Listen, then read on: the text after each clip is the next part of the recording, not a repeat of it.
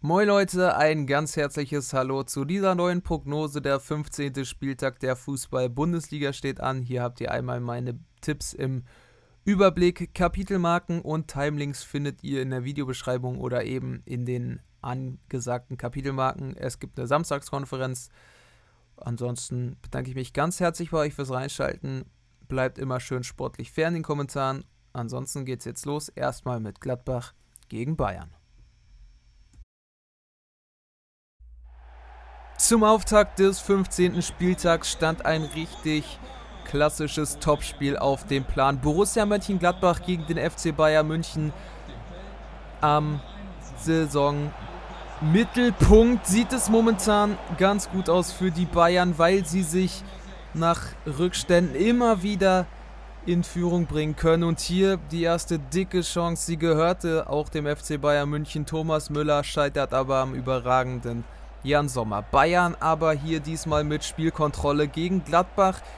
Wissen Sie, da darf man nicht so in der ersten Halbzeit spielen wie gegen Mainz, denn dort liegt man sonst gerne mal mit 2, 3 oder 4-0 sogar zurück. Hier war es, wie gesagt, ein ganz anderes Spiel. Der FC Bayern München sich der Lage bewusst, machte hier klar, es gibt nichts zu holen oder es sollte nichts zu holen geben für die Fohlenelf Corentin Tolisso nach überragendem Pass von Lewandowski mit dem 1 zu 0. Und es ging gut weiter. Thomas Müller ähnliche Abschlussposition wie schon bei seiner ersten Chance.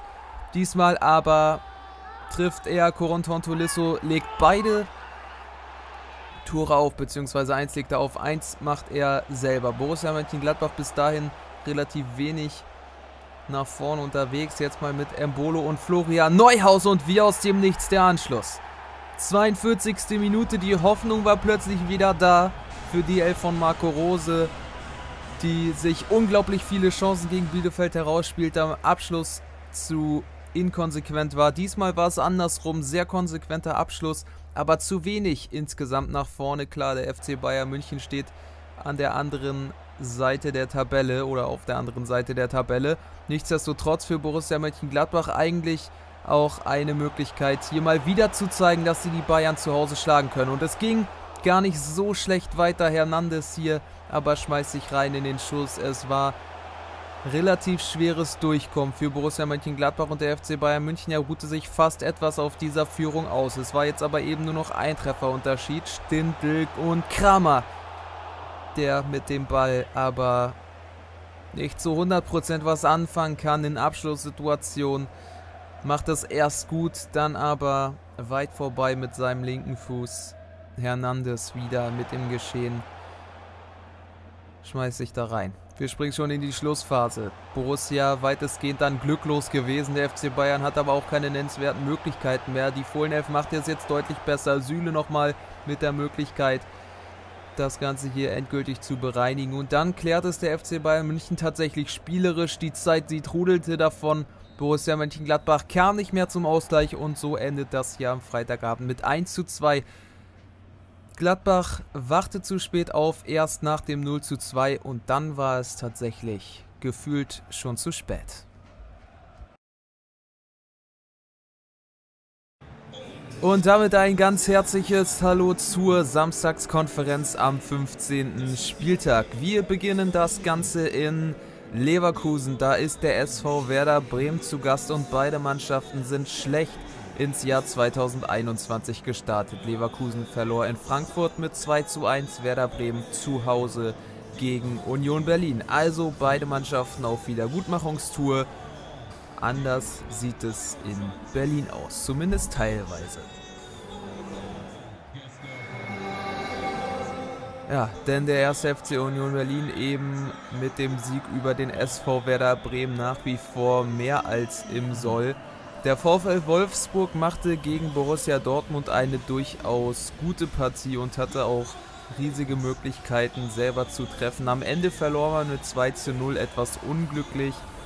Da war durchaus mehr drin. Das möchte man heute dann besser machen, vor allem eben im Abschluss konsequenter sein.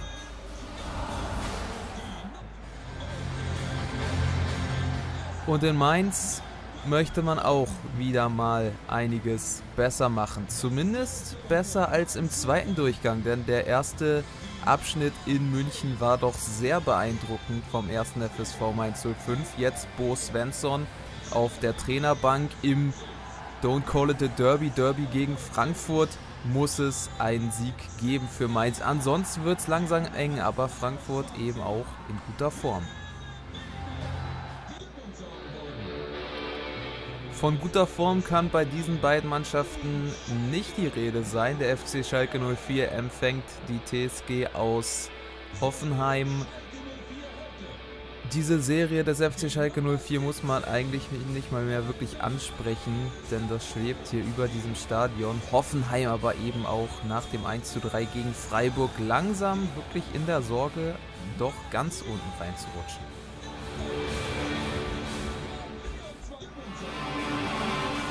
Und vom ganz unten reinrutschen konnte sich der SC Freiburg mit einer unglaublichen Siegesserie jetzt weitestgehend befreien. Da ist man im Tabellenmittelfeld angelangt, hat die Hälfte der Punktzahl geholt, die man immer so anpeilt. 20 Punkte jetzt nach 14 Spielen, sehr gute Quote. Der erste FC Köln hat Nachholbedarf nach dem 0 zu 1 gegen den FC Augsburg. Wir sind gespannt, beginnen jetzt aber in Leverkusen mit dem SV Werder Bremen.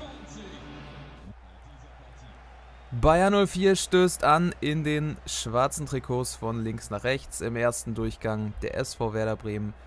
Hellgrüne Hosen und weiße Trikots. Also beim letzten Auswärtsauftritt konnte man durchaus überzeugen. Aus Sicht des SV Werder Bremen sogar in den letzten beiden Auswärtsauftritten im Pokal in Hannover gewann man und man gewann in Mainz in der Bundesliga. Vielleicht sogar noch ein wenig wichtiger. Leverkusen aber geht hier vom Start an gut nach vorne. Bailey allerdings in Abseitsposition. Das hätte durchaus gefährlich werden können, sehen wir dann aber. Tor in Mainz ist eine richtige Entscheidung und Tor in Mainz.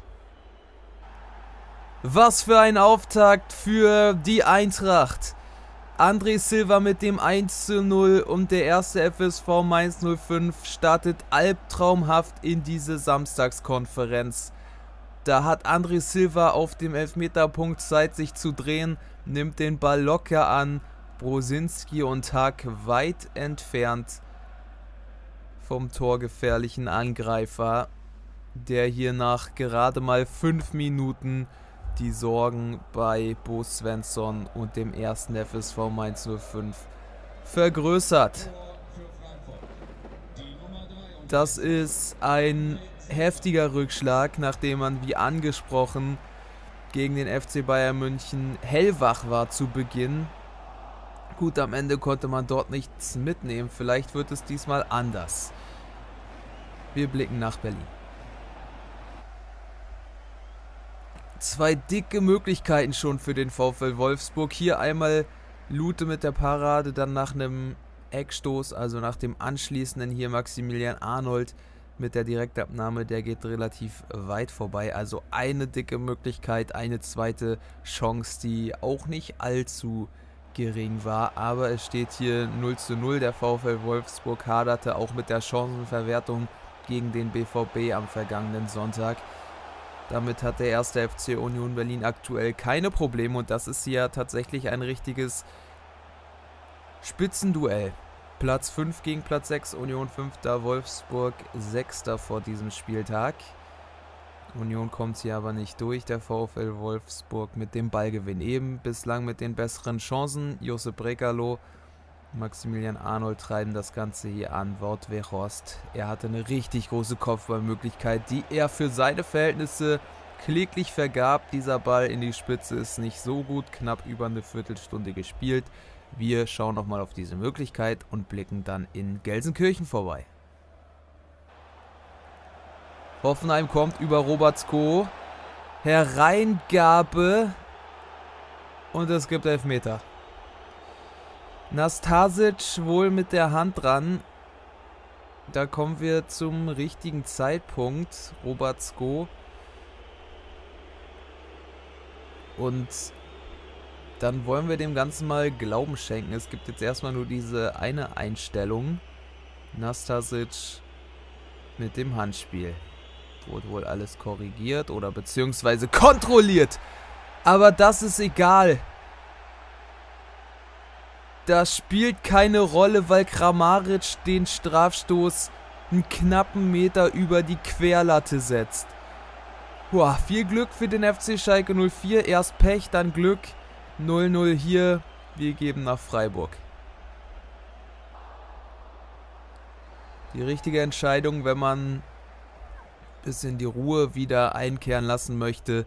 Das ist vor allem bei den Spielen des ersten FC Köln des Öfteren so. Da geht nicht viel nach vorne. Das sind keine Spektakelspiele. Der SC Freiburg, er hatte es zuletzt gegen Hoffenheim ganz, ganz anders gemacht. Da legte man stark los, führte zur Halbzeit klar und deutlich. Hier ist es eine Abseitsposition von Demirovic.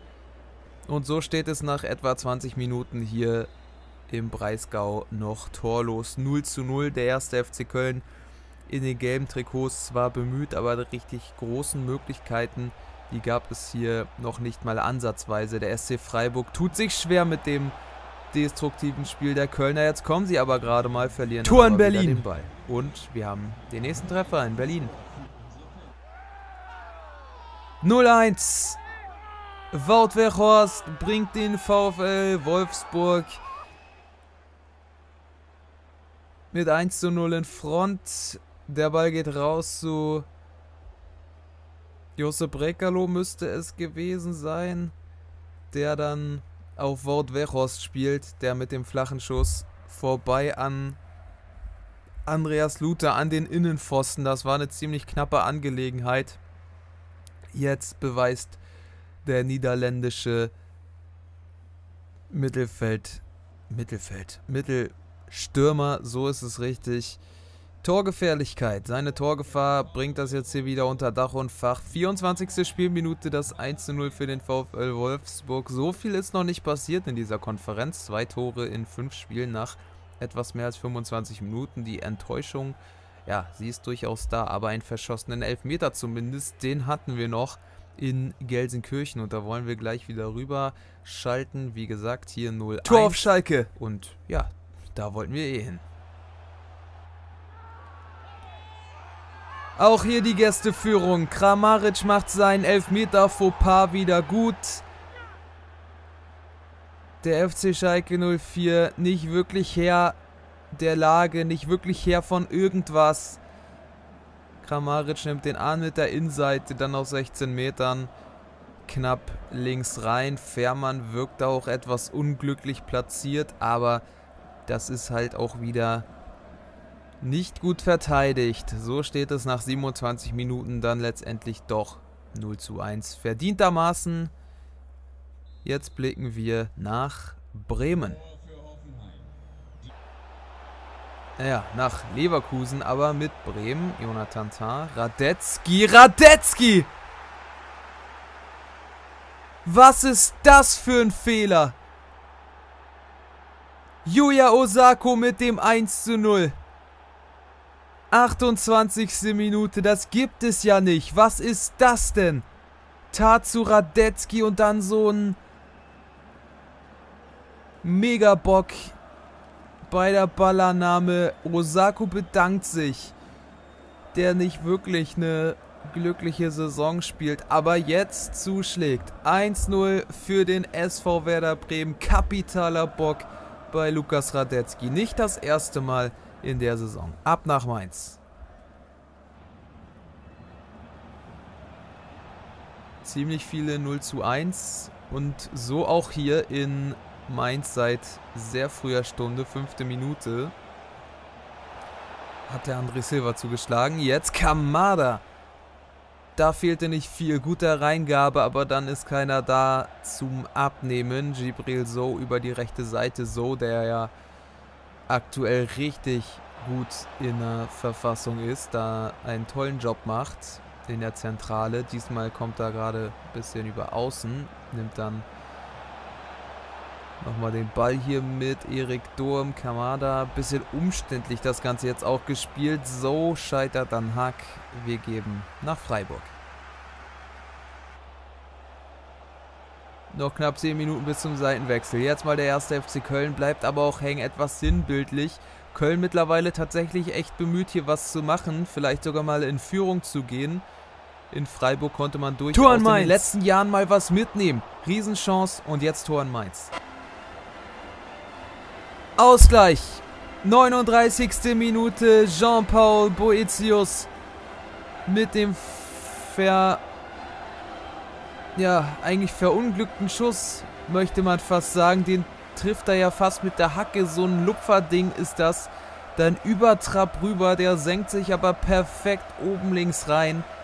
Was für ein fantastischer Abschluss muss man sagen. Tolles Tor, vielleicht genau die Schusstechnik, die man braucht. 1 zu 1 hier, das wünscht sich auch Union.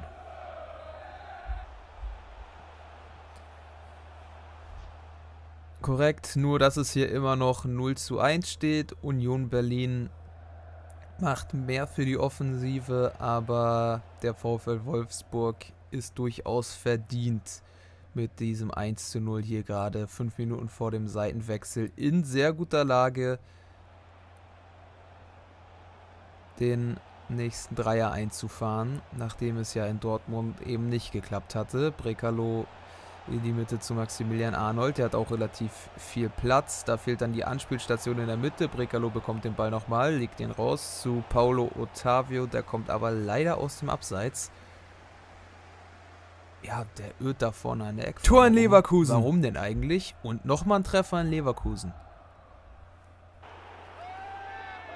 Unglaublich. 0-2. Der SV Werder Bremen, der sich traditionell in Leverkusen immer ganz gut geschlagen hat, bringt jetzt mit einem wunderbaren Lupfer auf Maximilian Eggestein und einem tollen linken Abschluss hier die zwei aufs Papier.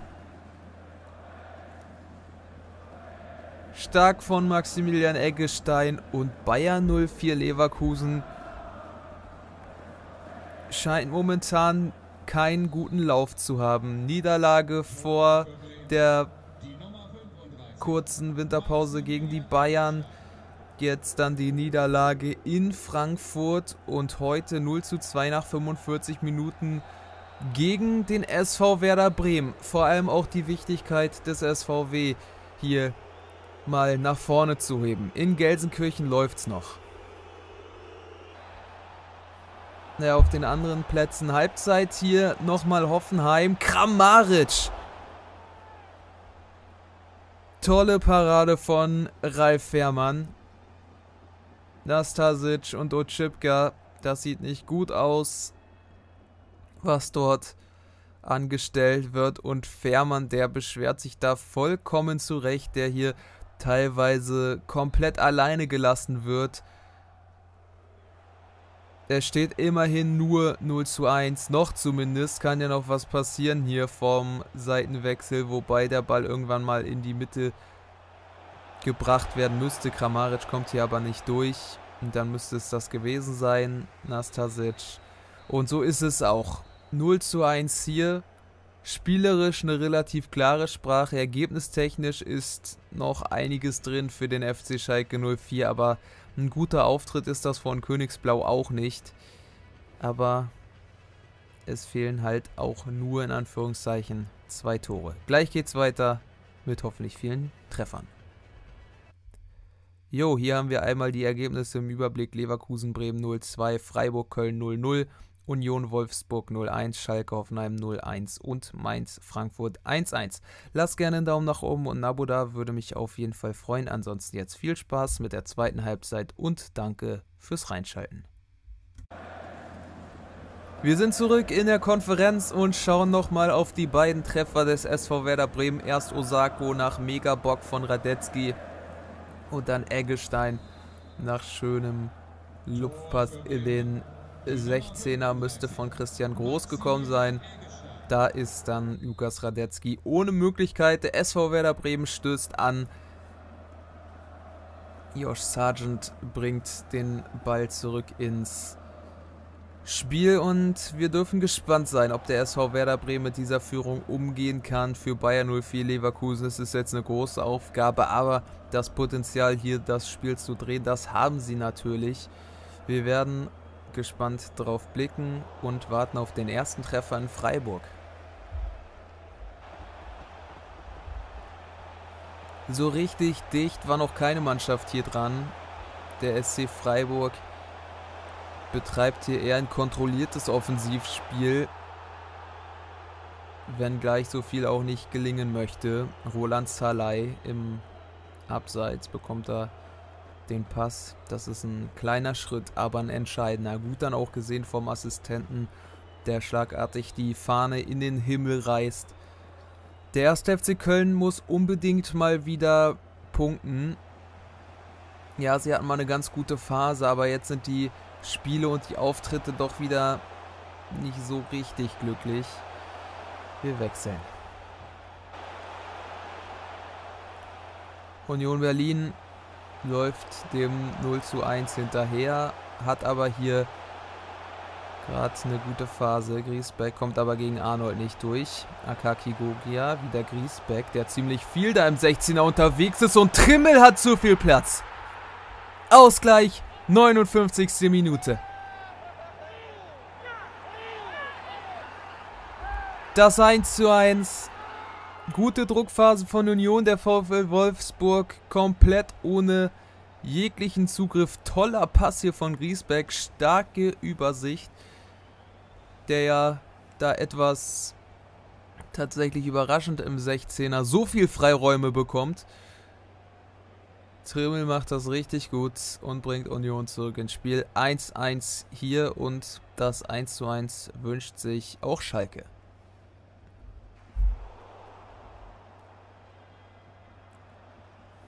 Das wünschen sie sich, ja.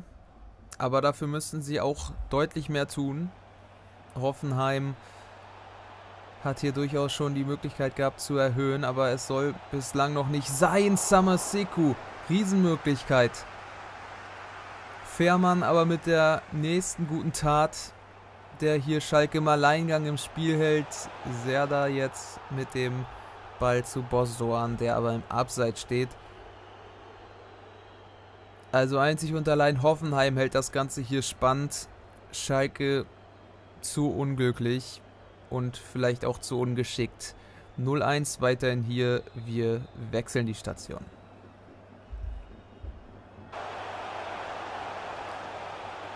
Landen in Mainz. Gucken einmal kurz auf die Zwischenergebnisse unten. Also alles doch recht ausgeglichen. Wenn gleich der SV Werder Bremen noch führt den Leverkusen. Und jetzt Younes auf einmal mit viel Platz. Damen mit der Parade. Das muss natürlich das Tor sein. Younes gegen Bayern 04 Leverkusen hatte er getroffen. Jetzt scheitert er. Und Mainz kontert mehr oder weniger, wobei Frankfurt wieder ganz gut sortiert scheint. Quaison. Unisivo! 2-1 Mainz. 71. Spielminute. Frankfurt gibt das Spiel aus der Hand, weil Younes auch eine hundertprozentige Tormöglichkeit vergibt. Quaison hält lange den Ball. Dann Gibril Sofo noch gelobt, kommt nicht hinterher, aber das Zentrum ist auch komplett offen. Und Kevin Trapp hat das Nachsehen gegen Karim Onisivo. 2 zu 1 für den ersten FSV Mainz 05. Sie stehen hier vor einem ganz wichtigen zweiten Saisonsieg. Und Frankfurt, ja, jetzt müssen sie kommen. Gilt auch für Leverkusen in erhöhtem Maße vielleicht sogar. Etwa 20 Minuten noch zu gehen und man liegt hier mit 0 zu 2 zurück und so richtig die ganz großen Chancen, sie blieben doch aus. Also es ist tatsächlich nicht so, dass man zwingend von einem zwangsläufigen Ausgleichstreffer hier sprechen müsste. Nicht mal von einem Anschluss. Ist hier die Rede im Bomb. Zu wenig. Wir wechseln nach Freiburg. Ja, in Leverkusen scheint alles klar. Wir melden uns, wenn da was passiert. Ansonsten ist die Konzentration auf die zumindest ergebnistechnisch spannenderen Spiele hier in Freiburg ist so eins, aber das hier ist auch von Florian Müller. Tor in Berlin. Sinnbildlich, so richtig heiß sind sie hier nicht. In Berlin war jetzt jemand heiß. Admir Mehmedi war nochmal heiß. 79. Minute 1 zu 2. Wolfsburg geht zum zweiten Mal in Führung. Wout Weghorst mit der starken Drehung sieht dann Admir Mehmedi, der eingewechselt worden ist. Der vor Bayern Lute 1 zu 2. Union Berlin hat nochmal jetzt etwas mehr als 10 Minuten Zeit, das auszubügeln. Ist nicht allzu viel, aber das haben sie auch durchaus drin. Urs Fischer peitscht im Hintergrund nochmal an. Das also erstmal von hier und in Gelsenkirchen führt auch die Gastmannschaft. Schalke mittlerweile sträubt sich aber mit Bastiano Schipka und Oma Mascarell. Zu Kutucu! Fahne bleibt unten, Treffer zielt. 1-1. Amel Kutucu. Der FC Schalke 04, er schlägt selber spät zu.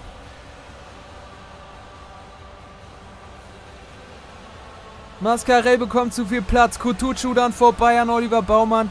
Und das ist eben auch momentan bei Hoffenheim das Problem. Man bekommt die Defensive einfach nicht kompakt, nicht dicht. Und Schalke sollte und wird jetzt wohl auch auf Sieg gehen. Vielleicht geht hier tatsächlich noch mehr. Wir melden uns und geben jetzt nochmal nach Mainz. Wo Frankfurt kommt, Younes hatte diese große Möglichkeit. Silva, Kopfball, aber vorbei. Noch etwas mehr als fünf Minuten zu spielen. Die Chancen, sie waren und sind nach wie vor da, um zumindest einen Punkt hier mitzunehmen aus Mainz. Aktuell aber hat der erste FSV das Spielglück auf der Seite und vor allem auch Damen im Tor, der wirklich super pariert hat gegen Younes. Ich hatte es angesprochen. Wäre jetzt für Frankfurt ein kleiner Rückschlag, nachdem man sich zuletzt stabilisiert hatte. Quaison sieht sehr gut aus. Riesenchance, Fernandes, aber nur ans Außennetz. Kevin Trapp verkürzt den Winkel, hat dann das Glück des Tüchtigen. Und immer noch kein Treffer an Freiburg. Ändert sich das denn nochmal?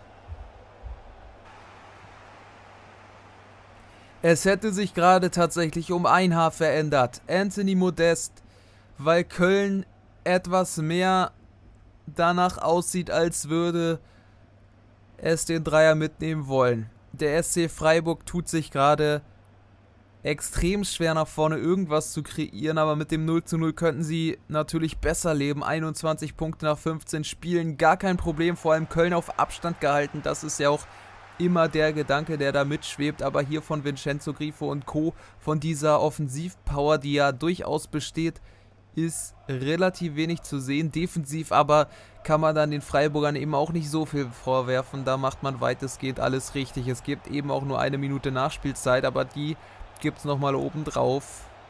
Günther dauert alles zu lange, Skiri grätscht rein. Es endet hier also tatsächlich in Freiburg mit 0 zu 0 gegen den ersten FC Köln, aber die Partie läuft noch in Mainz. Kommt Frankfurt nochmal. Gibt zumindest nochmal Ecke. Frankfurt hätte es sich verdient. Philipp Kostic steht bereit. Auch Kevin Trapp in der Mitte dabei. Letzte Aktion. Hinteregger. Und rüber. Das war's. Spiel vorbei. Es endet mit 2 zu 1 für Mainz. Unglaublich wichtiger Sieg im Abstiegskampf auch für Bremen. Extrem wichtig für den SV Werder Bremen. Wir sehen, Schalke endet mit 1 zu 1, Wolfsburg gewinnt mit 2 zu 1 bei Union Berlin. Und hier ist es für Leverkusen die tatsächlich dritte Niederlage in Serie. Vorher war man ungeschlagen und dann kam dieses Spiel gegen die Bayern. Vielleicht der Einknick, aber der SV Werder Bremen hat sich das auch verdient. Komplimente an der Stelle Danke fürs dabei gewesen sein. Jetzt noch alle Zusammenfassung.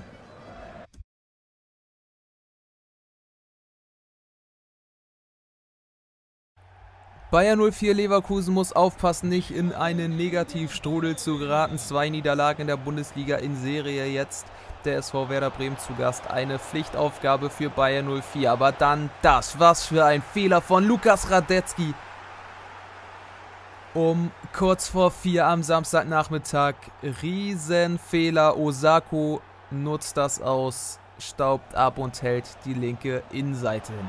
War ein guter Auftritt von den Gästen. Florian Kofeld wohl mit den richtigen Worten. Groß mit der Vorlage für Eggestein und so stand es nach 45 Minuten sogar 0 zu 2 in der zweiten Hälfte. Konnte dann Bayer 04 nicht mehr so viel nach vorne bringen. Der SV Werder Bremen, er konzentrierte, verteidigte über 90 Minuten das eigene Tor und konnte damit vollkommen verdient mit 2 zu 0 aus Leverkusen nach Hause fahren.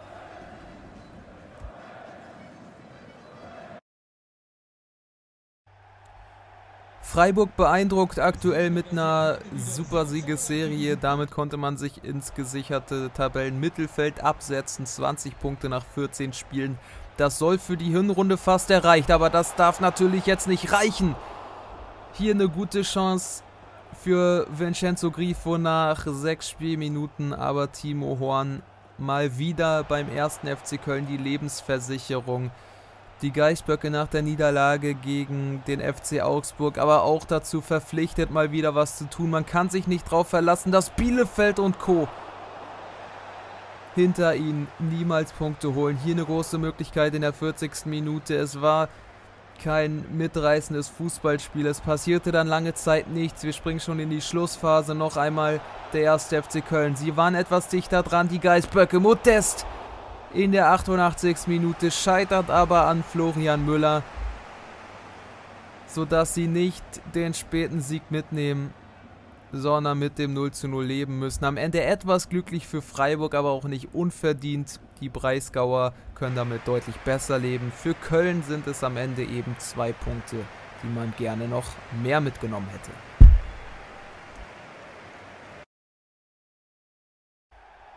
Topspiel in Berlin. Fünfter gegen Sechster, also ein Duell, zumindest tabellentechnisch, um die Europa League. Klar, Union Berlin will trotzdem immer noch nur gegen den Abstieg spielen.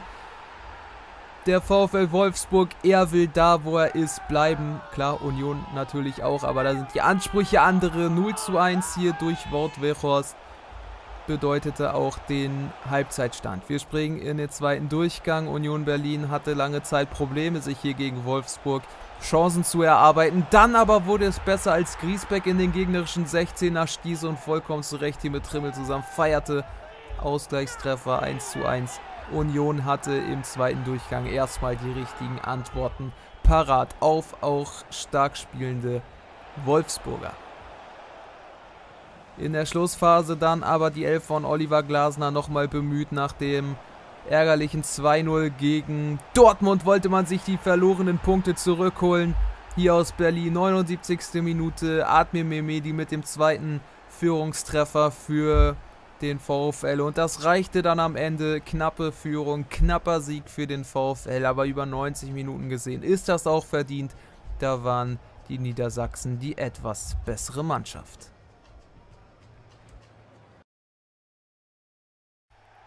Weder für den FC Schalke noch für die TSG aus Hoffenheim läuft es gut in dieser Saison. Hoffenheim mittlerweile wirklich vor argen Problemen. Da ist ja auch die Trainerfrage durchaus mal gestellt worden. Es gab aber nach einer Viertelstunde Elfmeter Handspiel von Nastasic. Ob das so korrekt war oder nicht, ist auch egal, denn Kramaric setzt den sträflich über den Kasten. Da fehlt mehr als nur ein kleines Stück.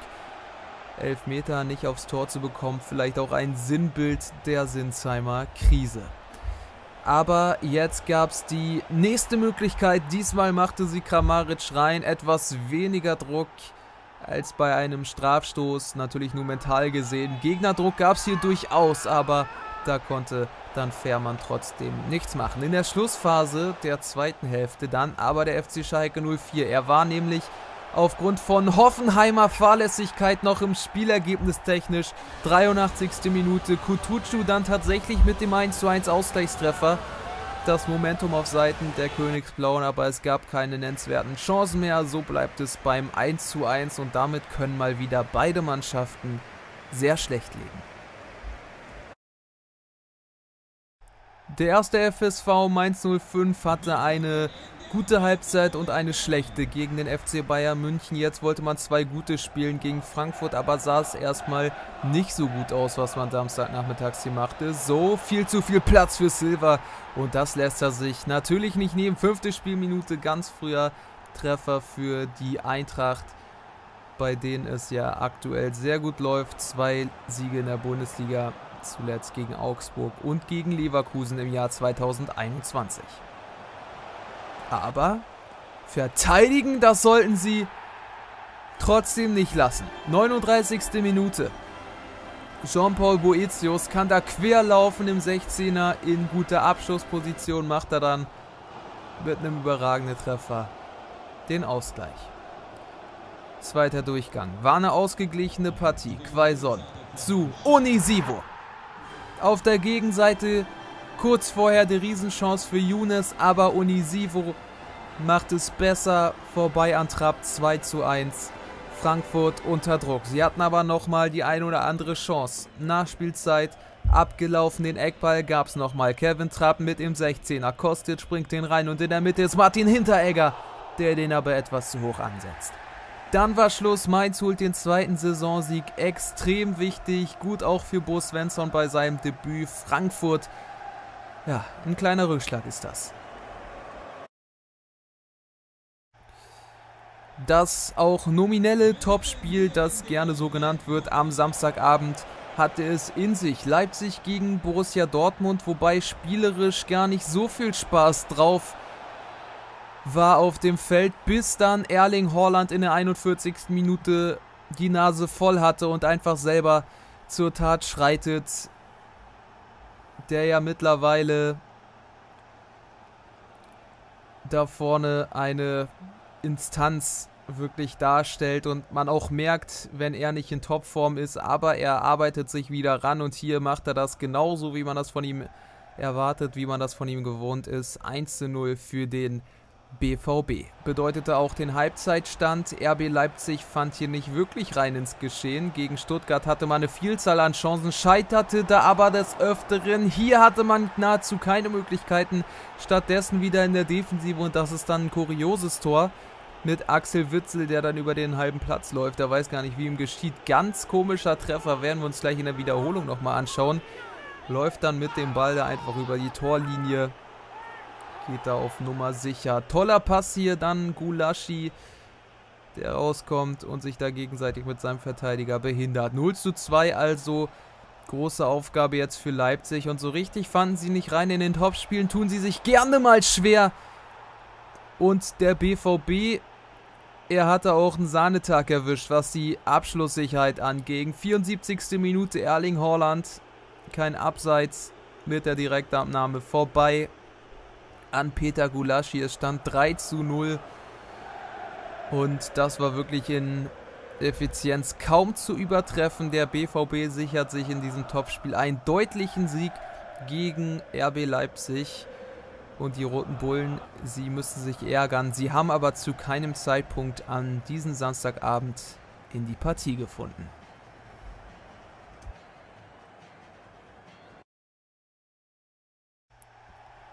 Am Sonntagnachmittag trafen Augsburg und Stuttgart aufeinander. Der VfB, der durchaus eine gute Saison spielt, aber mittlerweile auch mal wieder gewinnen sollte, hatte hier eine Aufgabe vor sich, die nicht so leicht war. Die Fuggerstädter spielen extrem unangenehm und sind dann vorne auch durchaus in der Lage zuzuschlagen. Hier aber war es der bessere Auftakt auf Seiten der Schwaben. Nach 20 Spielminuten eine sehr gute Möglichkeit für Endo, der aber scheitert an Rafael Gikiewicz, der beim FC Augsburg auch den nötigen Rückhalt bietet für das Spiel, das die Vogerstädter aufziehen.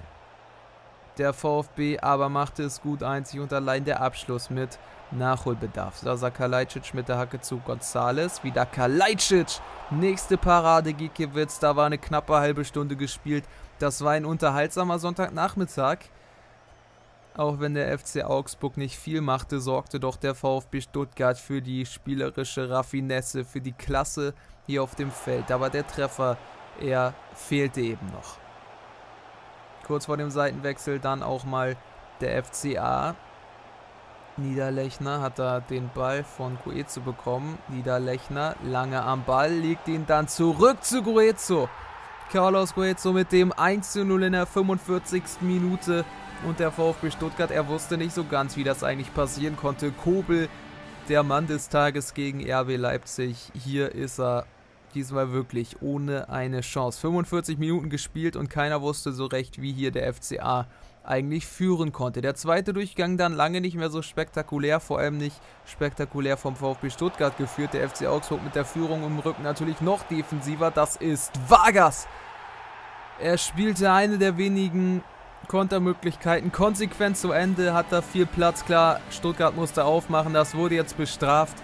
80. Minute und dafür dass es beim VfB Stuttgart auch unglücklich verlief an diesem Sonntagnachmittag, haben wir nochmal ein Sinnbild, Freistoßmöglichkeit in der 85. Minute. Gonzalo Castro aus knapp 25 Metern setzt den Ball aber an den Außenpfosten. Super Schusstechnik, toller Schuss, aber einfach glücklos der VfB. Das war spielerisch heute durchaus ansehnlich, aber eben unglücklich. Der FC Augsburg eher überzeugt im Abschluss und gewinnt damit 2 zu 0 am Sonntagnachmittag gegen den VfB. Zum Abschluss des 15. Spieltags trafen der Deutsche Sportclub und der Berliner Sportclub aufeinander. Arminia Bielefeld gegen Hertha BSC. Hertha in den roten Trikots, hier im ersten Durchgang spielbestimmend und mit dem Führungstreffer durch Jean Cordoba in der 28. Minute. Bruno Labbadia in den entscheidenden Momenten, dann scheint er doch die wichtigen und richtigen Sachen zu sagen, holt dann die Punkte ein, wenn es sein muss, gegen Schalke das 3 zu 0. Da sah es am Anfang auch nicht so gut aus. Hier ging man mit dem 1 zu 0 erstmal in die Pause gegen Arminia Bielefeld, ist ein Sieg natürlich auch Pflicht und die Ds FC Arminia, sie lief hier hinterher. Das war nicht so der gute Auftritt von der Mannschaft von Uwe Neuhaus. Auch gegen Gladbach war man wirklich stark unterlegen. Am Ende hätte sogar fast noch was mit einem Punkt werden können. Hier ist es mal Chiplock nach einer knappen Stunde, der zumindest Bielefeld auf die Torschussstatistik eintragen kann, aber ganz glücklich war es noch nicht. 70. Minute schon vorbei. Arminia Bielefeld mit weiten Bällen. Gebauer zu Fabian Klos, der da relativ viel Platz hat. Quergelegt, aber nicht gut. Chiplock aber nochmal zu Rizzo Duan und plötzlich das 1 zu 1. 72. Minute der Ausgleichstreffer aus, ja, nicht mal mehr heiterem Himmel, aber die Hertha, die eigentlich alles im Griff hatte lange Zeit, hatte hier jetzt Probleme. Es entglitt so ein wenig die Partie aus den Händen von Bruno Labbadia und seiner Mannschaft. Pritel, schöner Ball zu Rizzo Duan. Rizzo Duan! Wahnsinn! Spiel gedreht. Duan mit dem 2 zu 1 für Arminia Bielefeld. Die Hertha war sich wohl schon zu sicher und das ist obendrauf noch ein wunderbares Tor aus 16 Metern. Duan setzt den super an. Vorbei an Schwolo der Ex-Arminia-Keeper. Er kann nichts machen. Es endet hier mit 2 zu 1, weil Rizzo Duan am Ende auftritt. Und die Hertha muss sich fragen, wie man hier eigentlich verlieren konnte. Jo, hier seht ihr die Ergebnisse und die Tabelle im Überblick. Lasst doch gerne einen Daumen nach oben und ein Abo da, würde mich auf jeden Fall freuen. Ansonsten vielen Dank fürs Reinschalten. Ich wünsche euch einen wunderbaren Tag. Bleibt gesund, haut rein und adios.